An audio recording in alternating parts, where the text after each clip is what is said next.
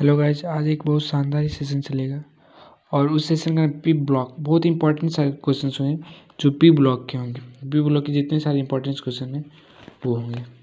First जो question है, दिख रहा होगा कि हैबर विधि से अमोनिया का निर्माण। हैबर विधि से अमोनिया का निर्माण। ठीक है? हैबर विधि से अमोनिया का निर्माण। अब भाषा देख लीजिए औद्योगिक रूप से अमोनिया का जो निर्माण किया जाता है, जिसमें एक अणु औद्योगिक रूप से अमोनिया का निर्माण किया जाता है, जिसमें एक अणु नाइट्रोजन एवं तीन अणु हाइड्रोजन का परस्पर संयोग करके अमोनिया का निर्माण किया जाता है। और यह एक उत्क्रमणीय एवं उष्माक्षेपीय अभिक्रिया है। इसे हम समीकरण, हम अपने पेट पे समझाते हैं। देखिए समीकरण क्या है? तो समीकरण जो है, ये मतलब एक अणु नाइट्रोजन था, यानी एन टू और तीन अणु हाइड्रोजन था। हाइड्रोजन था, तीन अणु। अब तीन अणु हाइड्रोजन था तो ये परस्पर संयोग करके क्या बनाएगा? टू एन एच थ्री बनाएगा।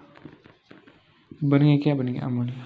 तो हम बोले थे कि यह जो अभिक्रिया है, यह अभिक्रिया, हम बोले थे यह अभिक्रिया, उष्मा छेपी भी है,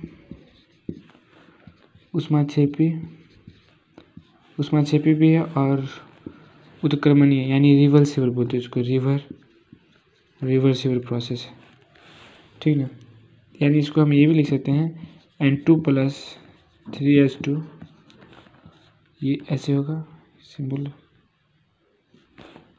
two N S three यह जो दर्शाता है यह साइन जो दर्शाता है, यह उत्क्रमणीय अभिक्रिया को दर्शाता है कि यह उत्क्रमणीय अभिक्रिया है। अमोनिया में प्राप्त हो गया।